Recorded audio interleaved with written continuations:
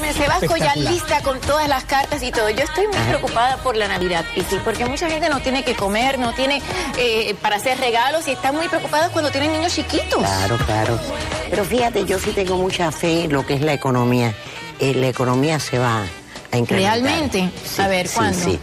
Bueno, ya pronto. Pero siempre hay que hacer algo. A ver, Te voy a ¿qué se puede explicar, porque yo creo mucho en las energías. Sabemos que el país tiene sus problemas grandes. Pero cuando en una casa hay energías negativas, ya tú sabes que eso se incrementa. Ahora, a mí me encanta siempre mandar obras. Si hay una obra buena para la que es la economía, es agarrar un girasol, cortarle el tallo, ponerlo en un plato, echarle miel de abeja y canela y ponerlo detrás de la puerta, dedicado a dos eh, deidades.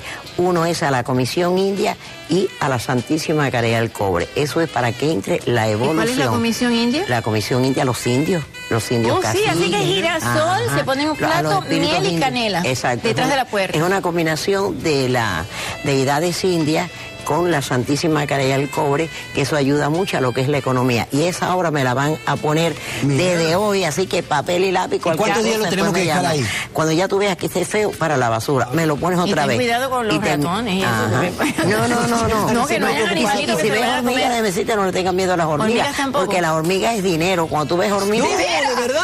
Ay, yo tengo una amiga que tiene la casa llena de hormigas. Te vas a hacer de millonaria. hormigas. Cuando ves las hormigas, ya tú sabes que el dinero está seguro. Ah, entonces me encantó. A ver, me voy al teléfono. tarde. Elvia, dígame, su pregunta. Sí, buenas tardes. Mi nombre es Elvia Campos. Mi fecha de nacimiento, abril 14, 54. Quería saber un poco sobre el 2012, a ver qué me depara la vida. Maravilloso. Gracias. Fíjate bien. El año, bueno, después vamos a hacer algunas predicciones más adelante. Pero por tu fecha de nacimiento, lo que tienes que poner gladiolos blancos y rojos en tu casa. Porque por tu fecha de nacimiento, las flores tienen que ser hacia arriba.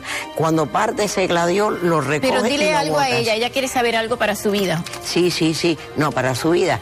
Eh, pero hay una energía que hay que mandarla a quitar. Ah, ese es el problema. Para su vida viene un año maravilloso, porque viene el año 12, donde es una combinación con el 54. Si lo llevamos a nuestra religión, se combina. Ella es una persona completamente espiritual. El año viene bien bueno porque este año ha sido muy duro, muy duro para ti, porque tienes un espíritu, pero pegado, pegado, que es una energía negativa. Llámame fuera del aire, que te voy a mandar una obra más, más Cuando una larguita. persona tiene un espíritu negativo, es alguien que murió, que te quiere hacer daño, que era enemigo tuyo en Depende, depende. Mira, puede ser que te lo hayan enviado, puede ser que tú hayas, lo hayas recogido. No quiere decir que siempre te lo enviaron. Eso se pregunta. O el vidente, si estamos en una misa o yo te estoy consultando, yo sé dónde viene rápido. Si viene que te lo enviaron o es que tú lo recogiste. El otro día tuve un caso de una persona que fue y se consultó, dice, pero ¿quién me lo envió? Lo recogió en una funeraria. Ah, ok. A ver, tiene está Maritza, ¿no? Maritza, fecha de nacimiento. 810 del 56. Perfecto. Mira, dice que el pasado llega al presente. Alguien que se fue, alguien que regresa. Súper positivo. Al decir alguien que se fue, puede ser alguien que tú lloraste mucho en una época cuando esa persona se retiró de tu vida. Dice que regresa. En el amor hay algunas dificultades, que eso sí tienes que hacer cositas para el amor, porque siempre hay algo que te interrumpe en la parte amorosa. En el seno familiar, trata de hacer una fiesta en tu casa antes que el año termine, reúne Dígame. la familia y pon mucha música. Y ponme flores amarillas, sobre todo girasoles. Gracias por tu llamada. A ver, Xiomara, fecha de nacimiento. El 511 del 42.